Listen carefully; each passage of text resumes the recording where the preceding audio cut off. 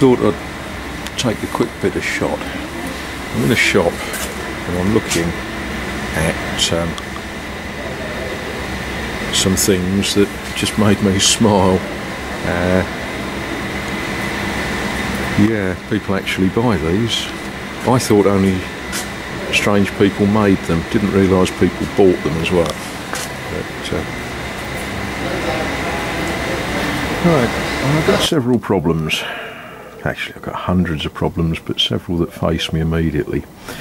Uh, having acquired a big pile of timber, I had to put it somewhere, and it all got chucked in the workshop.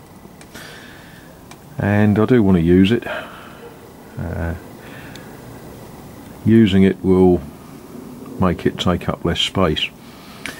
The job I've got in mind, I've got another little problem uh, that I've got too many books and I thought I would make myself a rustic travelling bookcase.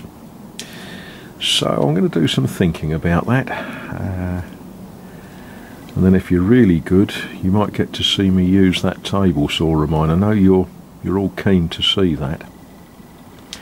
Yeah, okay. Well, I'm going to go and do some designing.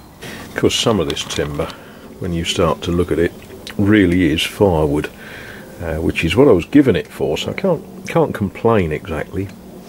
Uh, it will be better cut and stacked and out of my way, so yeah, those bits that are obvious firewood are going to be sacrificed.